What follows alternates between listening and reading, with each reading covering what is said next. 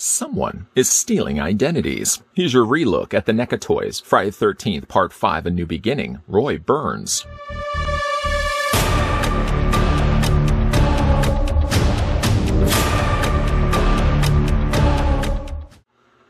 Still haunted by his past, Tommy Jarvis, who as a child killed Jason Voorhees, wonders if the serial killer is connected to a series of brutal murders occurring in and around a secluded halfway house where he now lives.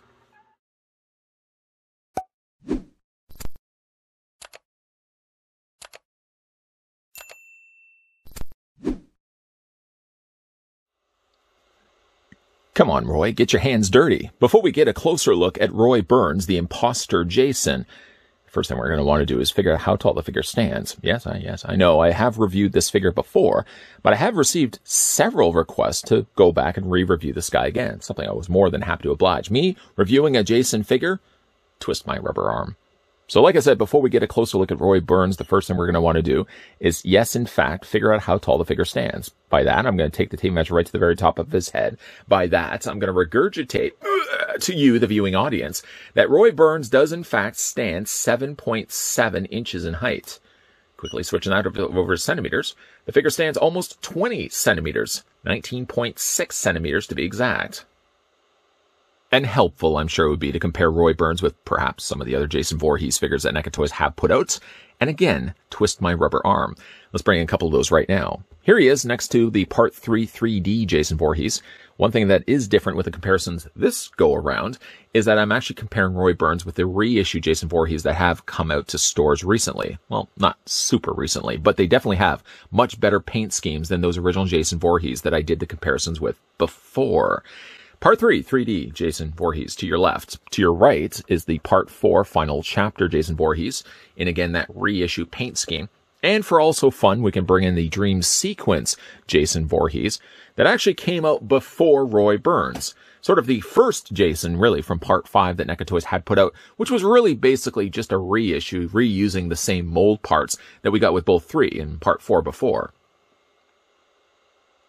Now, Friday the 13th Part 5, A New Beginning, stands out as one of my personal favorites from the franchise. Sort of tossed it back and forth actually between that, 4 and 6.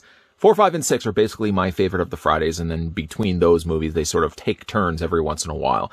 But I will say that Part 5 definitely has the most notable deaths, if you ask me at least. Having a look at the accessories, I think NECA Toys pretty much covers off all the territory when it comes to the things that Roy uses to kill his victims in the film. Starting early into the film, starting first with the accessory of the road flare. Now this flare, as you can see, is sculpted in what I'm guessing to be white plastic. And then from there, they've gone in and painted all the accented areas, like the top and the red, for example. And then like the smoke, the part that comes out from the flare, has been rather, rather handled effectively by doing a little bit of gray, a little bit of almost this salmon pink color. And like I said, giving you a pretty effective looking flare. Of course, in the movie, Vinny is the one that gets the road flare to his mouth. And again, that starts the movie's pacing rather nicely with a really gr- gruesome and really interesting looking death. This can fit easily into Roy's hands. In fact, actually, all the accessories fit rather easily into his hand. Just take his flare and just twist and get it lodged in between his fingers and his palm. Moving from there, why don't we have a look at perhaps the shears? One of my other favorite deaths from the movie killing, of course, Tina. The shears going down and then clipping her eyes. Again, it's a really nice looking accessory. You don't see shears often thrown in with a Jason Voorhees figure, and notably you wouldn't anyways, but it's nice to see that they would have actually thrown this in with Roy, because I think it's, it's like, it's one of my favorite deaths from the movie. It does have some really nice, kind of dark gunmetal silver and then all the blood, actually, one thing I've noticed with all the accessories for Roy is that the blood is really rather dark. Assuming that this is probably something that has then dried up. It's not fresh blood after all. This stuff is nice and dry. He's used the weapons, used the tools he found around him, and then just discarded it for someone else to find later. The shears actually are serviceable in the sense that they do actually open and close. And unlike the retro cloth Roy that sadly didn't have a swappable hand and really didn't have the necessary means to be able to hold both shears in hand, this Roy actually does come with a swappable hand. In fact, actually, let's put the shear down for a second. Mind if I just remove the road flare? Okay, thank you. Gonna remove that. And this hand right here is currently just flat. It doesn't serve so much of a purpose. I mean, it's just a, a flat palm. But we're going to go ahead and just twist that off, remove it from the socket, and uh, you'll see behind the peg is left. And then from there, we're going to go ahead and change it out with the gripping hand. And just wiggle that back into place, just like that. Uh, I will say though, with Roy, it's a little bit more trickier to get the hands actually in place because you'll see the length of the sleeve almost goes to the point where the peg is. I mean, it doesn't give you very much wiggle space to work with. Anyways, we're going to go again, just twist that back in place. Spending a little bit more time putting that hand in the sleeve than I really wanted, but at least the hand is in place. Let's go back and resume to taking the shears. We can fit them into his hand. Now, granted, you could either have him facing this way, or if you've seen the movie, you'll probably know that Roy actually dispenses Tina by leaning over top of her and rooting the blades of this shears actually into her eyes before closing these shut.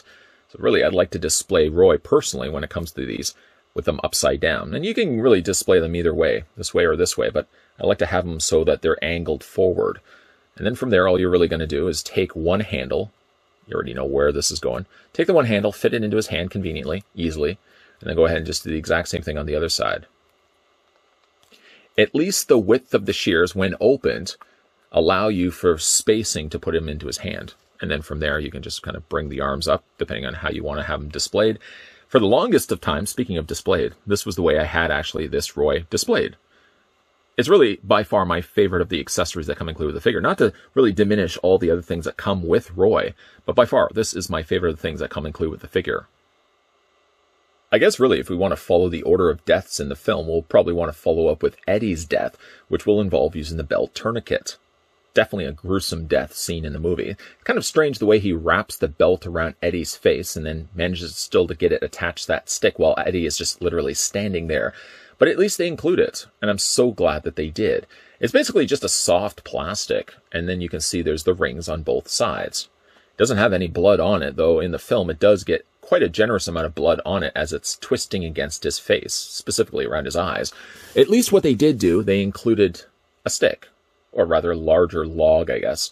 And then from there, you can just take the rings and fit them on both sides. It's one of those instances, of course, when it comes to displaying with the figure, that you really don't have a tree, and you certainly don't have Eddie, so it seems a bit strange for him just to be carrying around a, a piece of log with, of course, the belt wrapped around it. But at least, again, I appreciate the fact that NECA Toys would include it with the figure, and it is a super nice detailed piece. Moving on to come also include with the figure, I guess we could kind of look at the machete. Uh, we're kind of just breaking up the order a little bit here, but he does come include with the machete. It's a really dark color crimson that they use for the red. It's almost kind of got a slight tint of black, but it is a nice looking machete. It's got the nice silver blade, and again, it's got the little rivet points there in the handle, where you can imagine that this is the way that the machete was put together. I guess while we're also talking about sharp things, Roy also comes included with the smaller hunting knife.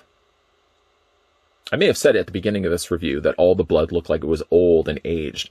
I guess the knife is probably one of the freshest looking applications of blood.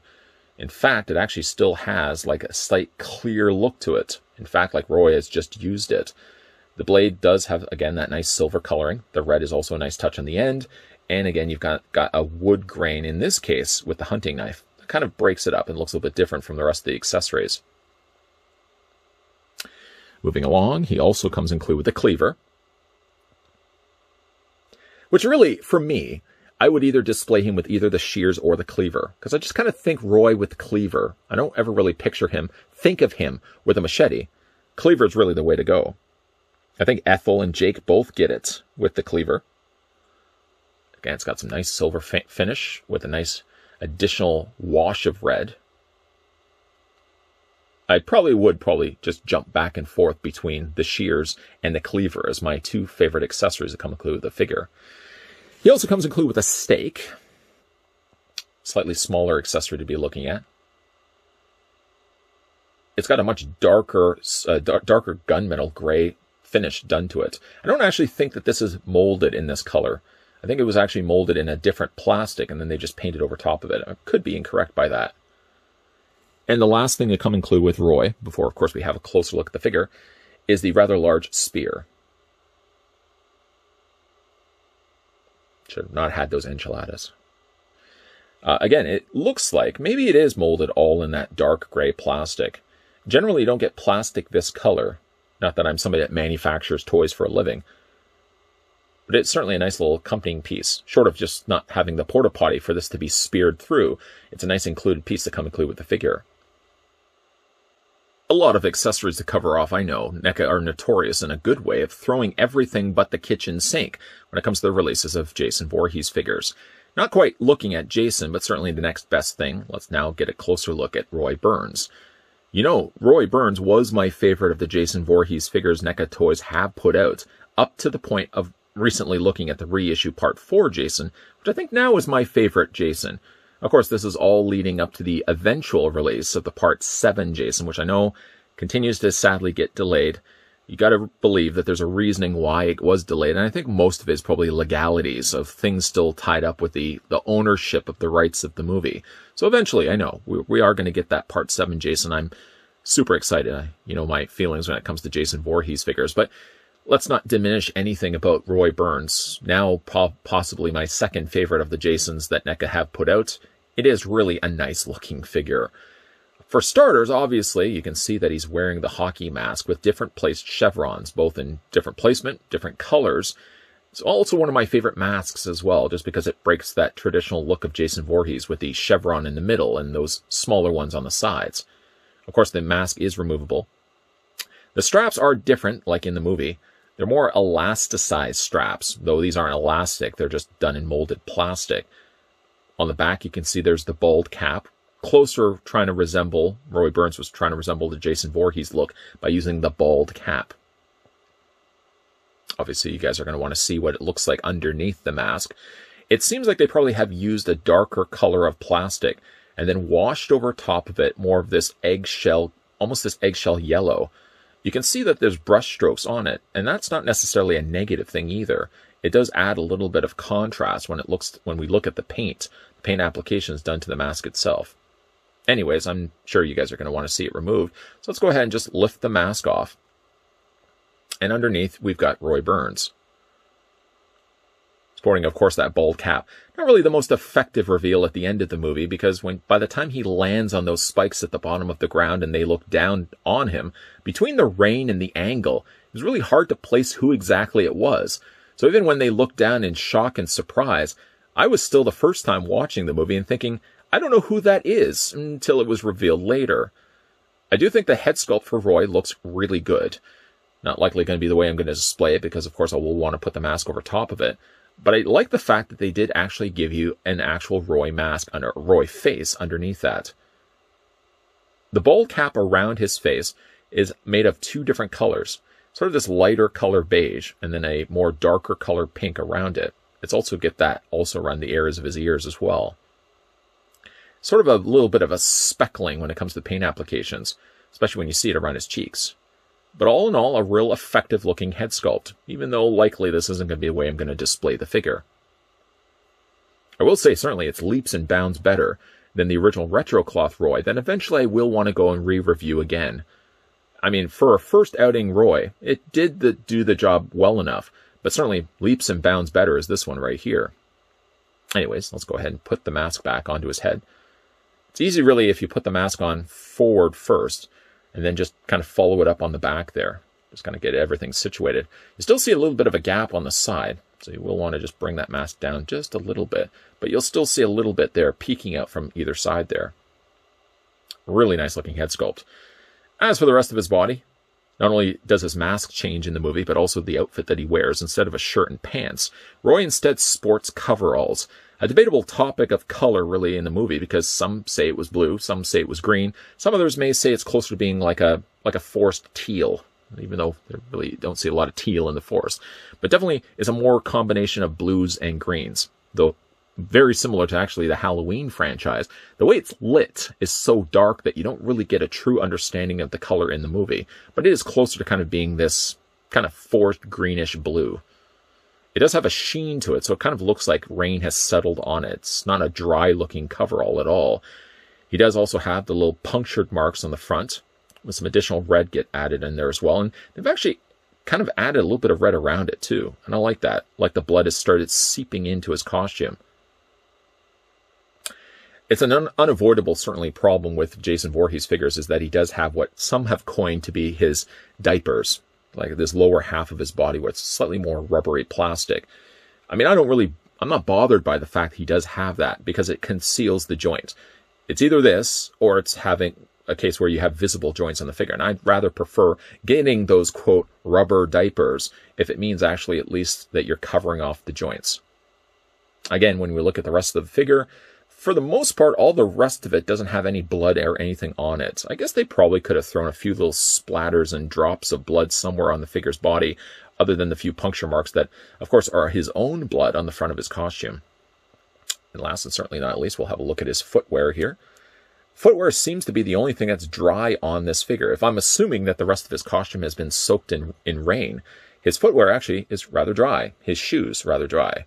He does have peg holes on the undersides of his feet, like all the other Jason Voorhees figures have. So, again, if you want to put him in some dynamic poses, you can certainly pull that off on Roy. Or if you just want to have him standing there looking menacing, he's rather effective at doing that as well. Tackling now the articulation on Roy. His head is on a ball joint, so you can technically rotate his head all the way around.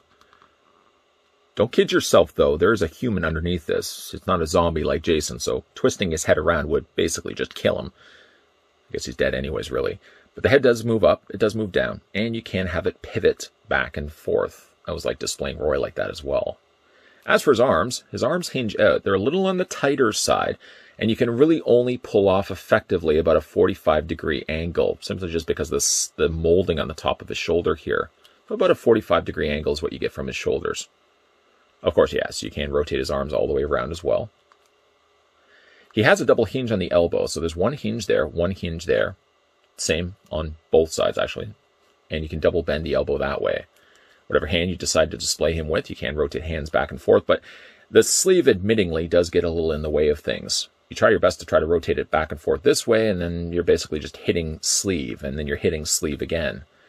Roy doesn't have any articulation, though this whole body feels, at least this part of it, is all, again, that softer, rubbery plastic the diaper everybody keeps talking about.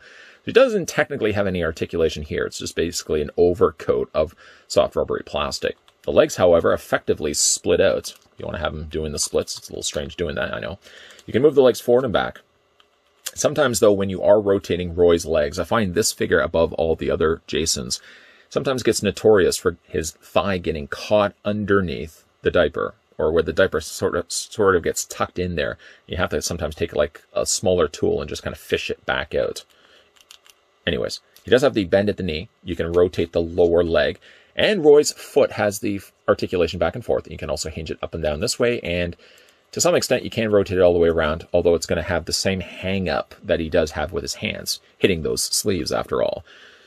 A great looking figure again, an opportunity now on my part to be able to go back and re-review this guy again, kind of add a little bit of commentary that I didn't have initially added to that first figure review.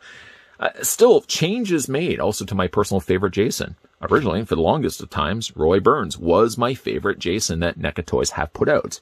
Since that last review, though, my new favorite Jason is the reissue part 4. I love the color scheme. I love the damage done to his mask. So it slightly dethrones Roy. And I hate to say I probably will have Roy even dethroned again down to the bronze when we eventually get the release of the Part 7 New Blood Jason, which I'm super excited about. The Friday 13th Part 5 A New Beginning Roy Burns may no longer be the gold in my collection. It's been dropped a slot by the Friday 13th Part 4 reissue Jason Voorhees. I do have to stress that it's the reissue part that I love about that figure. That paint scheme that NECA applied to the mask of part 4 Jason definitely makes my top slot, which then drops Roy down to the silver, and silver's not bad. And I think making then the bronze is probably the Friday 13th part 5 dream sequence Jason Voorhees. I love the slick wet look of that figure, sort of a prelude perhaps to a Friday 13th part 8 Jason. Not to mention he does have swappable heads and a whole lot of them. Those are my top three favorite Jason Voorhees right now. Right now, I have to say, because of course, when the Friday 13th Part 7 Jason Voorhees comes out from New Blood, it's eventually going to come out. We know sooner or later it's going to come. I know it's probably going to take the top slot. I mean, who are we kidding? It's probably going to be my number one, and then all of those are going to have to be kind of re-sorted out. Roy's probably still going to make my number two, I think. Maybe, I don't know, maybe my second or third. Maybe I might change my mind between him and the part four reissue. Nonetheless, though, Roy Burns does things differently both in the movie and in the figure. In the figure, you're certainly getting a different mold altogether using a coverall similar to what we would see with the Halloween 2 Michael Myers. Though the pockets are a little bit different, the legs and the arms I think are about the same. You also get yourself a brand new different mask, different head sculpt certainly underneath, showcasing Roy, which Again, at the end of the movie, do we even know that's Roy Burns? It's just some guy sticking on spikes. It's not until after the fact that we know it's Roy Burns. But if you didn't say that after the death, I probably would have still looked at him and thought, I, I, I don't know who this guy is. Anybody know who, do you know who this guy is? Uh, yeah, okay, I, I'm not the only one. I don't, I don't know who the, who he is. Friday the 13th Part 5 definitely has some of the best deaths in all of the entire franchise. And I know some people would just simply look at Part 5 like they would look at Part 3 and say, oh, Jason Voorhees isn't in the movie and therefore we don't have to like it. No, you do like it because it is definitely one of the more entertaining Friday the 13th. It's not my favorite anymore. Again, I change my mind frequently. I think part six is now my favorite, but sort of think of this for yourself. If it wasn't part for part five, we really wouldn't have a Jason Lives. We would just have another Friday 13th. By having Roy being this slip-in imposter for part five, do we then appreciate Jason Voorhees coming back for Jason Lives? Which again is my favorite of the franchise right now. It's going to change, but like right now, at this moment, that's my favorite Friday 13th. What's your favorite Friday 13th movie? Let me know down below. And perhaps as well, what's your top three favorite Jason Voorhees figures that NECA Toys have put out? I was like reading your comments down below. Also, if you guys are new to this channel, enjoying all the content you're seeing, loved also the fact that we're going back and having a look at Friday 13th Part 5, a new beginning, Roy Burns, leading up to the eventual release of Part 7. It's going to happen. It's going to ha- just keep telling yourselves it's going to happen this year. I hope. Fingers crossed. Certainly though, like I said, if you guys are new to this channel, make sure you hit that subscribe button down below, turn the bell notification on, and then, yeah, come back to this channel regularly, because not only are we going to be looking at some more horror figure reviews, but there's definitely going to be a lot more NECA reviews also lined up and coming your way. So as always, thanks for watching, and I'll see you guys next time.